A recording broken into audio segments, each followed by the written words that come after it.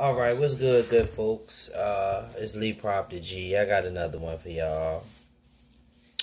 Uh, it's kind of later, well, later than I usually do them, but it's all good. We're gonna get it done. Uh, what I got for y'all tonight is Z for Zen, not for sleep. 10:15 p.m. 8:21:15. Z for Zen, not for sleep. 10:15 what is that? Uh, August 21st, 2015.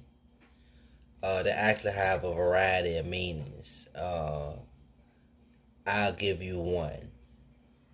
Z for Zen, not for sleep, can subliminally mean uh, programming. Uh, you know, when you see Z, Z is for zebra.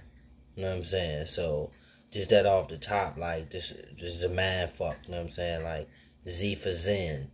You know what I'm saying? Z for Zodiac. You know what I'm saying? Uh, Z for Zion.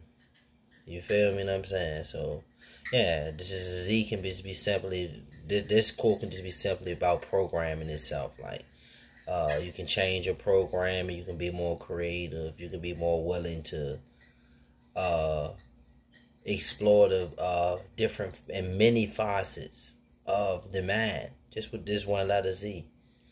Uh, Z also symbolizes the word sleep in American culture and probably in some other cultures. So uh, Z does not mean that in my uh, in my vocabulary. So um,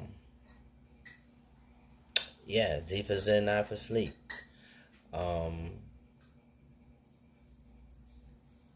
thoughts, knowledge, information can be misconstrued. It can be uh, perceived differently. It can be viewed from different perspectives. It can be understood in a variety of ways. And I think this quote right here is perfect to exemplify that. So I say that one more time before I get out y'all way. Z for Zen, 9 for sleep. 10:15 p.m. 8:21 2015. Think so. All right, good folks.